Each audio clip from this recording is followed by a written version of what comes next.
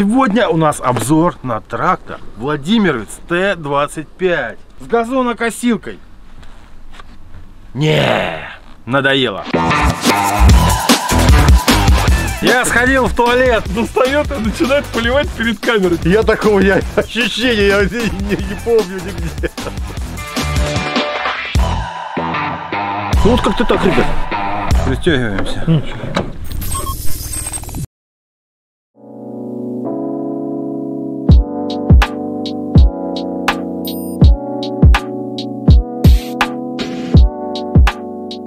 Ребята, всем привет! Вы на канале Мульчер Эксперт. С вами я, Антон Хатунцев.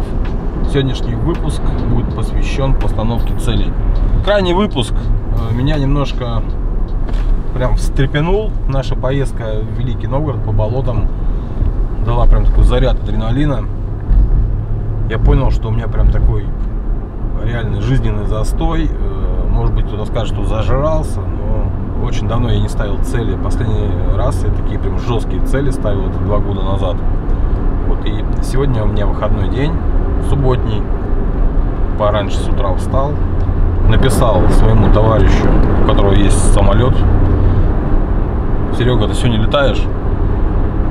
Он отвечает, да, я сейчас приеду.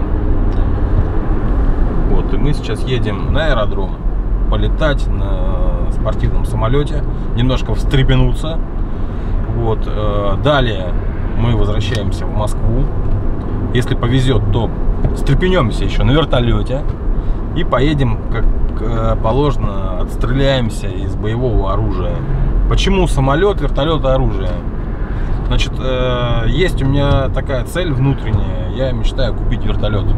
Пообщавшись э, с людьми, которые э, занимаются летным искусством, они говорят, а почему вертолет, почему не самолет? Как бы, чтобы понять, что реально внутренне хочется, душевно, нужно пойти и попробовать.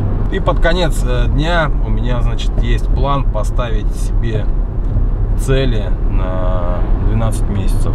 То есть такие прям, э, которые будут зажигать, которые душевно, внутренне хочется, которые будут подталкивать, которые будут тебя стимулировать, двигаться э, и которые приведут к многократному росту в бизнесе.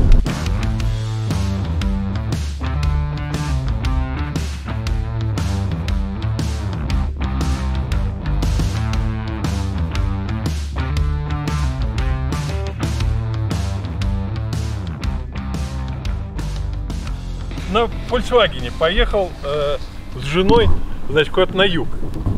Ну, едут, а у нее регистратор стоит, новый. И он, значит, это самое, э, жена заснула, а он, значит, выходит. Так, это, наверное, не для камеры. Да ладно. Он выходит, значит, достает и начинает поливать перед камерой, перед лобовым стеклом. Ну и все, и приехали на юг, обратно приехали. Жена взяла, сняла этот самый Флешку. флешку и на работу приходит, говорит, девчонки, сейчас вам покажу, как мы ехали. А она не знала. Включает, и там такая картина, едут, едут, едут, останавливаются, тут Миша выходит и перед лобовым. Девки говорят, замечательно ехали. Нормально. Вот и я так же говорю, может, у них там девчонки А сидят. а щас- что за чудо? Почему что? Хороший самолет. Летает очень хорошо летает. Очень хорошо. Да, летает. учебный, он э, как парта учебная. Да. Он медленно, хорошо летит, взлетает, садится. ровно. как он называется? А, никак. Трепколет. Нет, он называется, нет, подожди. Наська, Наська его зовут. Его Настя. зовут Настя вообще в народе. У него же вот стоит, допустим, Одноместный легкомоторный Да. самолет.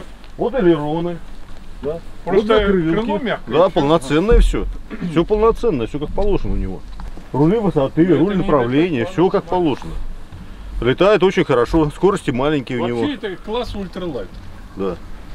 Это самолет, который там до 150 килограмм. Ну, это потяжелее чуть-чуть, ну, как бы. А у него здесь 50 лошадей. 50 лошадей. Да. А это канистра с бензином? Да. Ну, там у нас масло. Двухтаровый. Масло, бензин. Тряпколет. Настя. Да. Настя, тряпколет. Пойдем про свой расскажешь. Пойдем. Олег, иди расскажи про наш. Учебно-тренировочно-пилотажный самолет. Вот. э, Для круизов он, ну, в принципе, летает. Мы с Серегой по 500 километров на нем летали фактически. Нормально. Вполне себе удобно. Груз только, видишь, у него задняя полка вот сюда. Всего 20 килограмм можно положить. Вот. Тут же важно что? Важно, чтобы центровка была у самолета приблизительно вот здесь находилась, на этой линии. Где-то одна треть крыла. Ну, 25%. Да, ну 25-30. А чье Если- производство? Это чешский самолет, серийный самолет, Злин-142 называется. Значит, он цельнометаллический и кое-где тут пластиковые э, детали используются. Свободно несущий низкоплан. Что значит свободно несущий? Вот Цесна, круизник, видишь, у него подкосы под крыльями, треугольник. Вот это вот э, с подкосной называется э, с, э, крыло, подкосное. Вот эти подкос треугольники. Они просто, у него шарнирно соединено крыло с фюзеляжем, вот так шарнирно. И стоит треугольник, вот этот вот подкос. А здесь подкоса нет, потому что сопротивление большое, а этот самолет пилотаж крутит. Нормальный такой пилотаж и бочки, и петли, и все он делает. И ему как бы эти подкосы, ну, совсем ни к чему. А, Значит, двухместный самолет, а, значит, масса его 750 килограмм, 215 литров топлива. Топливо заливается самое простое, от э, 90 там второго, ну, кончая Ну, то есть, даже если раньше, 76-й. пораньше 76 можно. 76 можно заливать. Почему? Объясняется просто. Вот этот двигатель, который на нем стоит, он начал разрабатываться в 1938 году. В Германии 210 лошадиных С сил. наддувом. Это с наддувом, когда наддув включен. Режиме- наддува в где-то режиме взлета 170 И приблизительно. максимальной нагрузки. Вот. Стоит у него винт изменяемого шага, то есть виш. Шаг меняется. То есть э, можно как бы загружать в полете, можно а, у- освобождать как бы шаг, чтобы он свободно- Нагрузку, да? э, А? Увеличивать нагрузку. Увеличивать Ну, на, да, взлё- да, на взлете, чтобы была максимальная мощность, Максимальная мощность. взлет. Оптимальная Да. Это, получается, этому самолету взлетная полоса короткая подойдет, да? Но у него, Дело не в этом. э, Не в этом дело, чтобы, допустим, он не бежал там 500 метров, да, то есть Ну он да. бежит там 250. Мы тогда делаем, чтобы максимальная мощность была на винте. Надув. А мы должны вы- раскрутить мотор на 2750, тогда он даст Оборот. максимальную мощность. Он Ну, как обычно, любой двигатель бензиновый, да, у него растет, допустим, мощность с оборотами. Вот его максимально 2750, и он тогда выдает 210 лошадей Да. с наддувом. Вот он выдал. Взлет мы сделали, разогнали 140 км в час, скорость получили, 130-140, убираем закрылки. Вот, да, и он у нас увеличивает скорость. И мы уже загружаем винт. И на более скоростной его делаем. То есть винт делается больше угол. Соответственно, обороты двигателя падают, но скорость самолета растет. Нам уже такой мощности не надо. И убираем наддув при этом. На втором крейсерском режиме э, мотор работает спокойненько, тихо, Да. как бы меньше топлива расходует, и лететь можно далеко, как бы. А мы сейчас, когда приехали, вы какое-то там обслуживание делали, что-то там подкручивали? Да, ну мы даже- Мы готовим его к зиме. Э, Там заборник стоит впереди, который идет на охлаждение Пойдем двигателя. Пойдем Да, покажем. пойдем. Видишь, стоит воздухозаборник. Вот сюда входит, вот двигатель пошел. Сюда идет охлаждение воздушное. Вот мы поставили вот такую вставочку, она на 20 э, миллиметров по кругу зажимает это отверстие. И это нужно для того, чтобы воздуха меньше поступало. А Вот, чтобы у нас двигатель не переохлаждался. Он, он плохо для двигателя, когда он перегревается, и когда переохлаждается плохо. Сейчас поставим еще вон там картоночку, вон у нас, видишь, снизу. А, вижу, вижу. Там масло-радиатор. Тоже масло густое, аэрошел используется. Ну вот как бы надо это самое. Двигатель 6 цилиндров, э, перевернутый, безредукторный. Вот. Разработки Вальтер Минор с 38 года до 90 года Чехи его производили. Вот. Потом им ЕС запретила, и сейчас все кругом американское. А двигатель очень хороший, очень-очень хороший. Вот. Самолет надежный, хороший, как бы А вот пробки в крыльях. это топливные баки. 60 литров, 60 литров.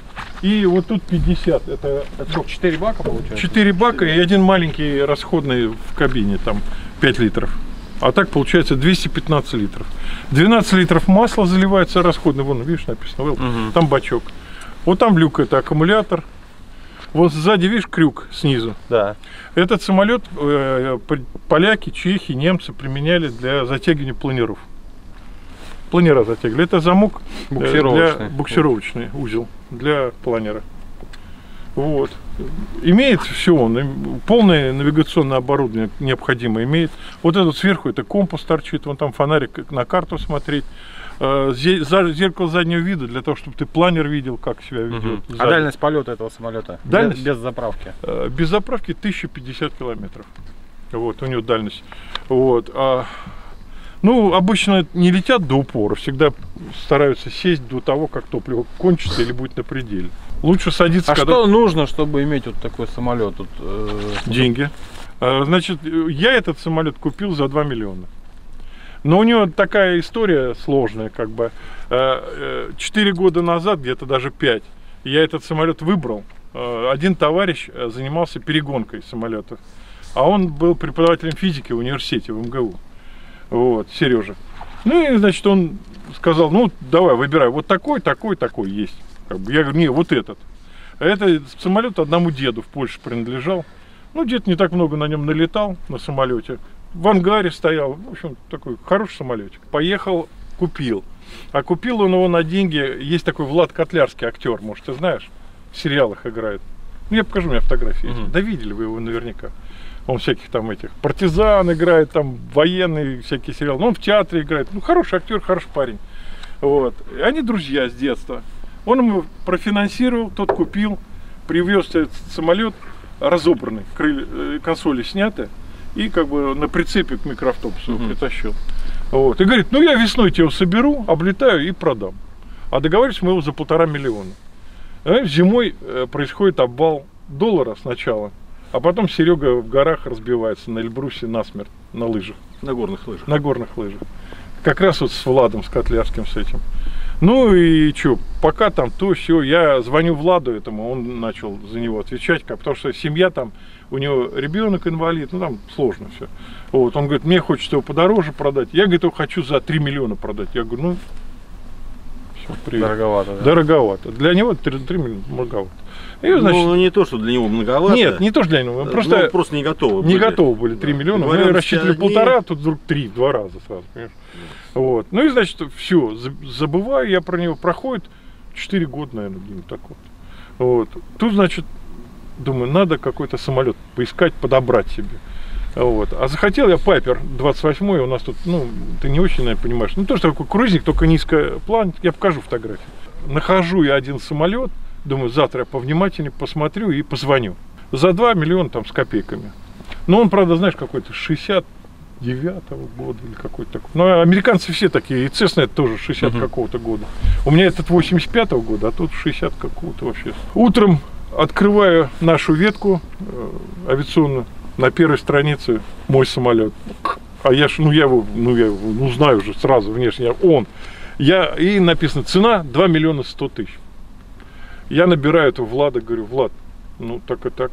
Я говорю, смотрю, ты продаешь? Он, ну да, вот уже все, пора, как бы, и надо деньги там, и жене его надо деньги. Ну я говорю, ну давай, 2 миллиона и по рукам бьем. Он говорит, давай. Ну, хлопнули по рукам, я ему 50 тысяч отправил, потом остальные додал и забрал. Правда, я его сначала поставил на северке, там парень один, у него такой же злин, он, э, злиноводы у нас их называют. Он его мне доводил до ума. Вот, всякие там фильтры менял, масляную систему промывал, ну все, все, все. А как вы вообще к самолетам пришли? Как, а Самолет. Да. мы все как бы... А Я, я Лётчики. мои закончил, я в, да, в- работал МАТИ, 15 лет. логический. Конечно, Поэтому... мы все авиационные инженеры. И потом увлечение, просто я начал, допустим, на параплане, полетал, потом думаю, хочу вот следующий самолет. Потом взял маленький самолет, мне Мгм. добрет, помогали в клубе. Сделал маленький одноместный, отучился э, с пилотом, с профессиональным, вот, вылетел. А далее Ну, цепочка дальше. эволюции. А дальше Ну, цепочка эволюции. Потом эволюции. Олег говорю, Олег, слушай, давай так, возраст твой подходит, если ты в этом году не покупаешь самолет, ты можешь забыть об этом. И вот, вот это его как бы слова, и его тоже желание дали, его все подстегнуло. Вот он развивает А я к этому моменту продаю дом. Да. Нет, а у него, подожди. А дело в том, что, понимаешь, когда у тебя ты чего-то очень, очень хочешь, Начинает твои слова начинают материализоваться. То есть все начинает. Люди как-то положительно к этому. Вот самолет вдруг, почему он вдруг раз и выпал, он открывает страничку, да, самолет перевел глаза. Вот как это сказать? Да, Вот не чудеса, было. чудеса. Чудеса. Влад, Вот, знаешь, Влад тоже сказал, говорит, Раз. это, наверное, Серега там э, подталкивает. Я говорю, ну, тогда тем более, говорю. Да, да, да. Значит, смотри, посадка в самолет как производится. Вот ручка, видишь? Мгм. Вот э, ступенька. Так. Ступенька и встаешь на черный коврик. Ни в коем случае нельзя сюда наступать. Ясно. Вот написано, ну, стоп. Вставай, бери. Так. Да, да. Есть. Сверху ручка, видишь, на крыше. Вижу. Двигай кабину вперед. Так. Есть контакт. Сейчас, сейчас, там, Ага. сейчас стой. Сейчас я поставлю, там замочки есть. Сейчас я сделаю. Слушай, ну ты понял? Мы только едем, разговариваем про счастье, и тут такие речи. Да. Просто до мурашек вообще.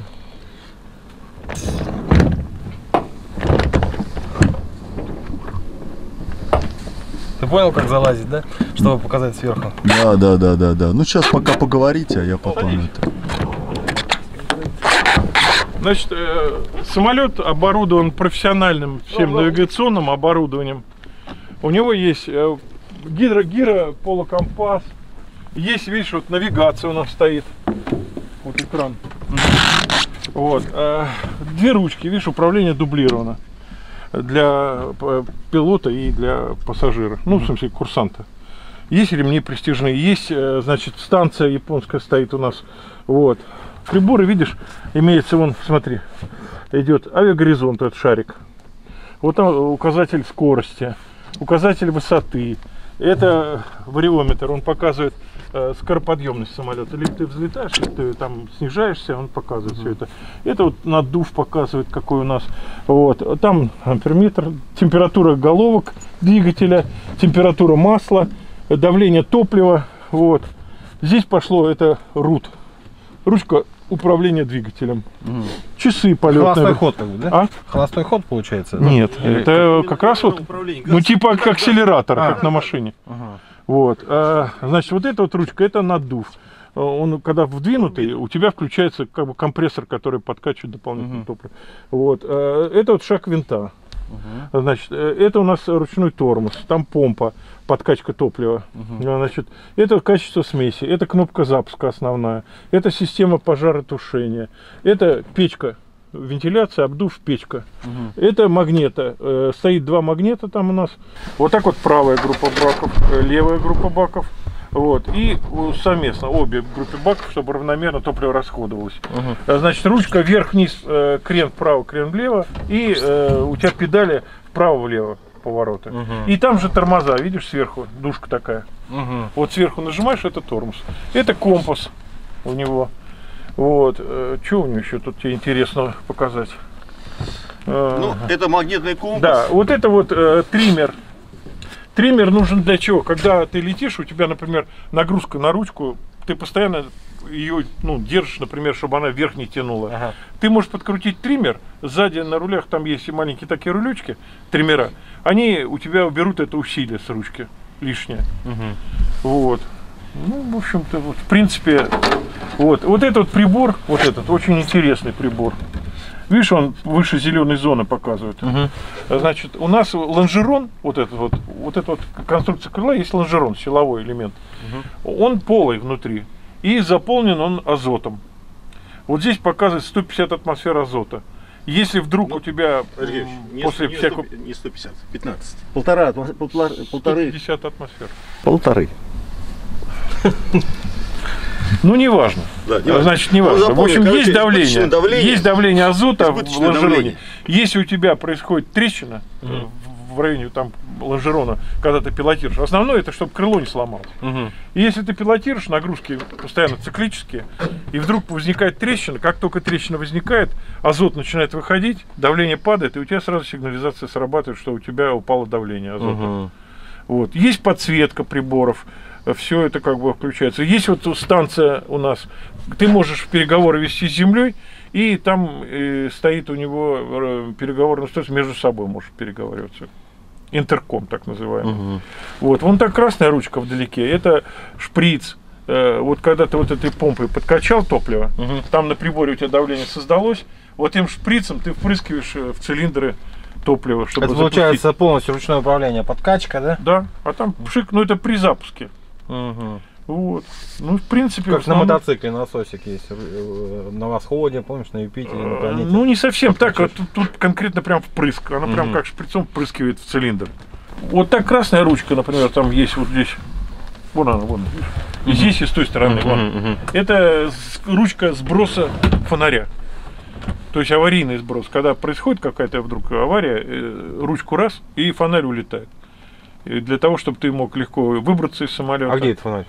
Вот это, А, вот это это есть фонарь. Это называется фонарь. Фонарь. Скорость самолета максимальная до 300 с лишним. Сколько там? 314, по-моему? 333 километра в час. Это максимальная скорость. Мгм. Вот. э, Так, в принципе, на э, кратковременно он 270 может э, держать. 200 вполне мы летаем частенько. Ну, в основном Да. такая скорость в крейсере. где-то А 190, два крейсерских 200. режима есть. Есть один такой более-менее скоростной, а есть такой совсем экономичный. Ну вот в экономичном режиме где-то километров 160 он летит, и как бы э, винт э, поставлен такой, все в экономном режиме, и ты далеко спокойно летишь. Вот мы вот в Серпухов недавно летали с Серегой, как бы, Калужская область. да, Мгм. в Калужскую область. Летишь и летишь. А приземляться на нем надо заранее уведомив, допустим, где-нибудь в аэропорту или где вы приземляетесь? Ну, в аэропортах, э, на аэродромах, вот да. таких. Э, В, аэропорты, на- в аэропорты нас не пускают. У нас пока мы не доросла Россия до этого состояния. За границей, например, э, вот все легкомоторщики, они могут запросить где угодно, там в Лейпциг, там куда угодно. Это я в Чехии В Нью-Йорк. ездил в машине к товарищу, а у него там он живет, и у него свой самолет. Ну, приехали на аэродром, это Либерец, это граница э, Германии, Польши и Чехии. Вот. Сели самолет, он запросился у РП на поднятие в воздух, мы поднялись, полетали везде.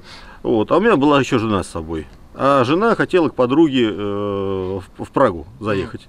Она говорит, а что, говорит, ты э, будешь ехать? Давай мы сейчас в Прагу подлетим, сейчас запросимся, сядем. Прям, говорит, 5 минут от метро. То есть аэропорт. Садимся в аэропорт, и все ты дальше, а потом вернемся, а он приедет на машине завтра. Вот. То есть это легко. Это не надо там какие-то сложные движения делать. Он То есть он подошел, запросился, и все разрешение. Ему Летят, дали э, коридор, летят. летят, э, значит, подлетают к, к аэродрому, вот к такому, как наш. Огни. Дело к вечеру. Э, Значит, он набирает э, частоту. Есть определенная частота у каждого аэродрома, значит, по которой производятся переговоры. Вот здесь, например, 134,5, да, по-моему.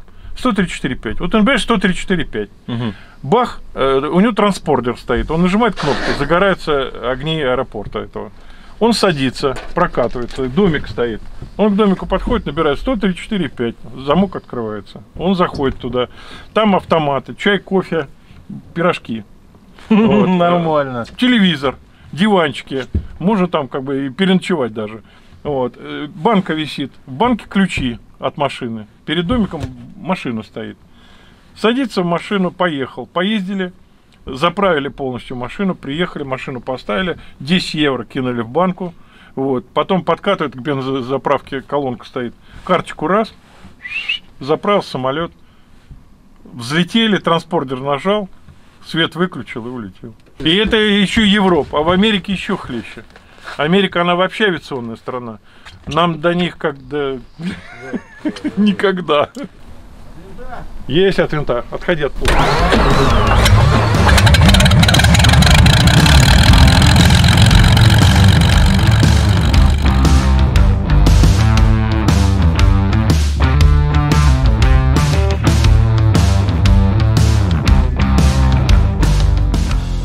Что, первый раз? Первый раз. О чем будешь класс. думать? О цели? Одев, одев, одев. Я сходил в туалет. Одев. Он в туалет сходил, да,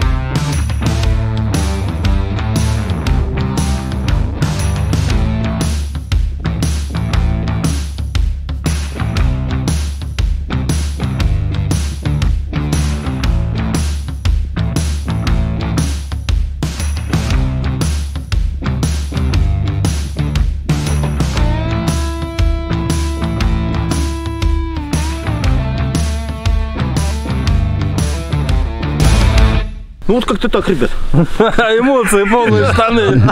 К сожалению, к сожалению Ну, меньше, чем мы хотели. Начало, ну, Да. По времени получилось чуть меньше, чем планировали из-за Нет, погоды. Конечно, мы Ну, хотели вас на погода. Волгу стаскать. да. Обычно мы до Волги, до Белого городка. Там красиво, там такие разливы вообще. Да, там хорошо, хорошо. Ну еще, еще как бы сезон не кончился, так что может еще и Да, да, да. А когда сезон заканчивается? Ну, все от погоды зависит. Чё, кто что. Снег, мороз. Сегодня вот дождя по плану не должно было быть. Ну что, ладно, поехали. С почином. Рады были вас почином. крещение. Все, взаимно, С почином взаимно. вас. Давай. Взаимно, спасибо большое. Это значит мой первый полет на легкомоторном самолете. Когда я залез в кабину пилота, сначала я не понимал, ну не осознавал, что будет. Потом, когда меня уже начали пристегивать, и э, слишком сильно мне пристегнули, у меня прям какая-то паническая атака началась. Просто реально стало, ну, становилось постепенно страшно, страшно. Самолет прогревали, мы тронулись. Нос приподнялся, мы тронулись вышли на взлетную полосу, развернулись. Пилот сделал э, всякие разные жестикуляции, проверил подкрылки, все в порядке. Спрашивают меня, полетели? Полетели. И вот этот момент, э, значит, это был самый страшный момент.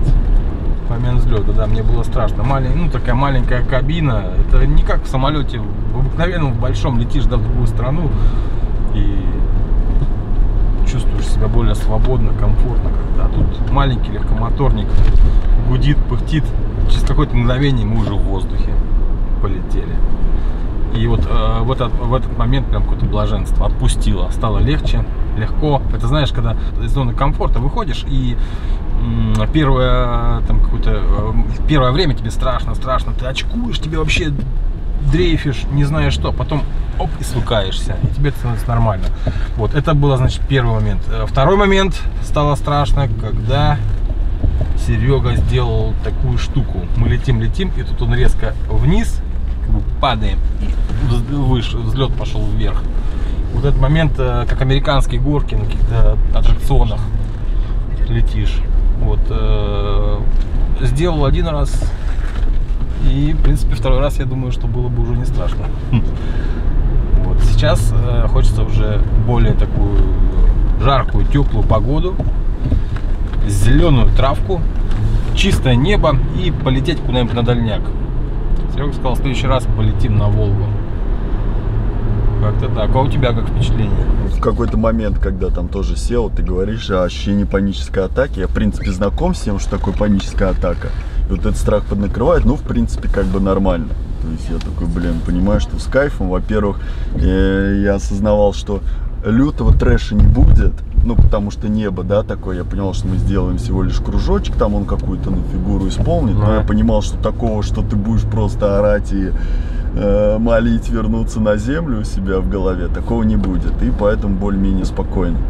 Ну, вот ощущение того, что как раз-таки, да, самолет маленький, было очень э, кайфовое, такое новое, кайфовое, потому что ты понимаешь, что это просто размером с машину, и ты взлетаешь, Да. вот чувствуешь каждое его движение, вот это вот чуть в бочок его уносит, где-то чуть он провалился. А при посадке, да? Да при посадке. Было ощущение, что полосы не хватит, чтобы остановиться? А, при посадке, ну, насчет полосы не думал. Я просто такая скорость большая, ну, когда к земле подлетел, уже такой думаешь, нифига себе, на такой скорости садится. То есть, когда он подходит, как будто снизилась скорость, Мгм. а к земле подлетел, ты такой и он так тук, касается, и тоже его начинает чуть вести влево-вправо, он пилот его выравнивает. Ну, То есть кажется, что сейчас может занести самолет еще там что-то. Вот. Про то, что кончится, не кончится полоса, как-то ну, не думал. типа. Скажи, это можно наложить на бизнес, да? Когда что-то новое пробуешь в бизнесе, какие-то новые инструменты или какая-то новая тема или новые на новый уровень выходишь, тебе впервые страшно, очково, ты боишься, не делаешь этого, но после того, допустим, даже там поучаствовать в тендерах, да, до этого ты просто работал через сайт, через там э, сарафанное радио, еще как-то, да, а тут бац, начал участвовать в тендерах, в каких-то больших контрактах, большая ответственность, да, и э, первый раз всегда страшно, а потом потихонечку. Ну да, я думаю, вообще, в принципе, жизнь можно сравнить там какими-то метафорами через как раз таки вот полет. и бизнес, да, само собой. То есть, когда тебе страшно, но что-то все равно происходит, и у тебя, наверное, один вариант удовольствия от этого получать. Как бы расслабиться, уже не сопротивляться там и кайфовать. Ну вот пилот уже все равно, да, то есть он сколько-то налетал, и он уже прям кайфует от этого, его организм привык. Да. А твой из-за того, что это впервые происходит, он реагирует как какая-то опасность, так же, как и на что-то новое там в жизни. Я после того, как вылез из кабины, я понял, что, блин, Антоха, тебе надо похудеть. Я подумал, что, ну реально, мне надо, реально надо, мне хочется похудеть. Вот какую-то я, у меня было чувство в воздухе, что я чувствую лишний вес.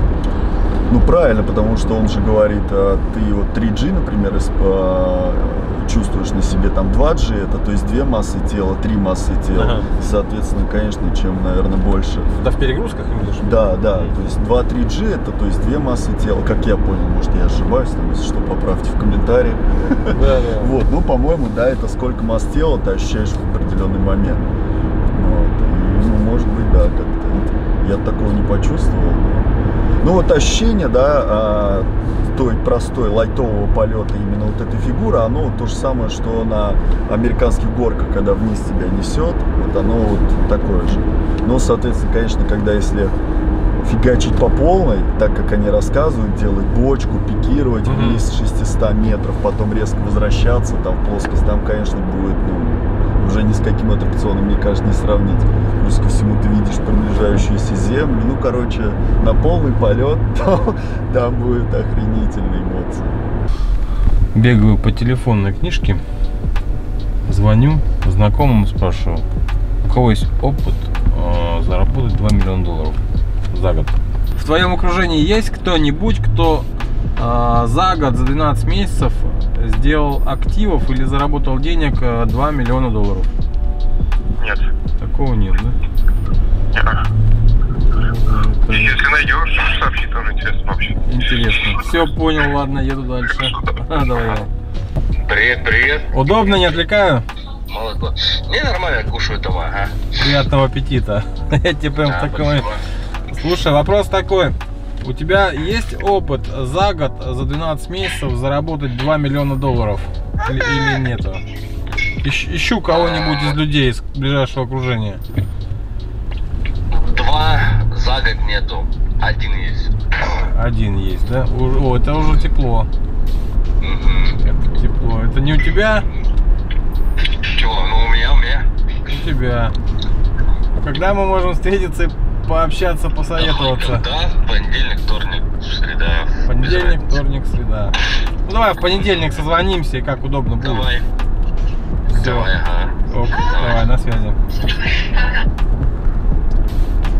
Ну, один лямчик есть. Один лямчик есть. Получается, если встретиться с одним человеком с одним миллионом и с другим с одним миллионом, Получится 2 миллиона долларов. ну, как минимум опыта, это всегда поговорить. А кто, что за парень? Чем занимается? Строительством? Ренат Мансуров инвестированием. А, что-то слышал такой Ренат Мансуров. Алло. Да, Антоха, здорово. О, привет. Лянь, такой вопрос. Э, Минутка есть? Занят, не занят? Да, да. Вопрос таков. У тебя или в твоем окружении есть такие люди, которые за год заработали 2 миллиона долларов?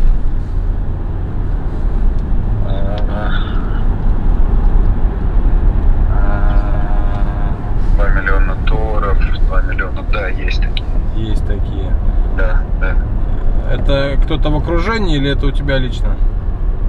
Не, у меня в окружении. У тебя в окружении. Да. Так, ладно. Второй вопрос. Как потихонечку вокруг да около познакомиться? э, Или, может быть, в тусовку попасть, пообщаться? Ну, а, люди непростые, не общаются просто так, общаются по предмету.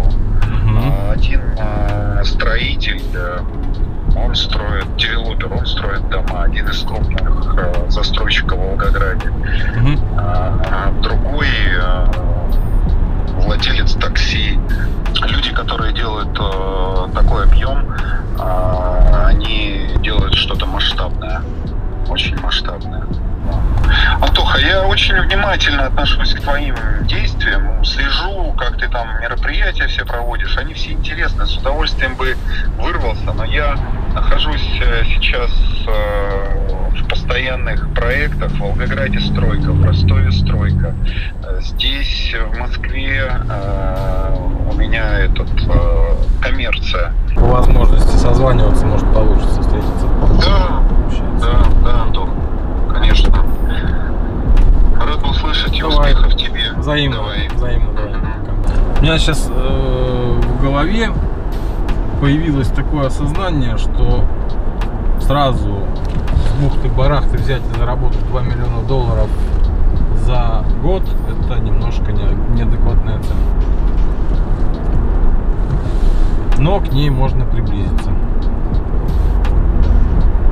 Так, чтобы прям взять сразу и это на разрыв сто процентов это разорвется нервная система и будет сильный откат назад. Поэтому как бы, можно более адекватно к этому подойти и для начала пообщаться с теми, кто хотя бы близко с этими прибылями ходит. Вот. И постепенно наращивать оборот, приближаясь поближе к цели. 2 миллиона долларов